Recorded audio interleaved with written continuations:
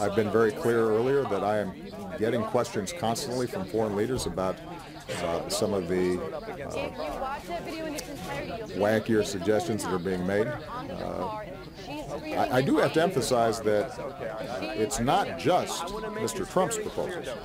I mean, you're also uh, hearing concerns uh, about Mr. Cruz's proposals, uh, which in some ways are just as draconian when it comes to immigration, for example. Uh, the implications with respect to ending remittances, many of which, by the way, are from legal immigrants and from individuals who are sending money back to their families, uh, are enormous. This is just one more example of something that uh, is not thought through and is primarily put forward for political consumption. Uh, and as I've tried to emphasize throughout, we've got serious problems here. We've got big issues around the world.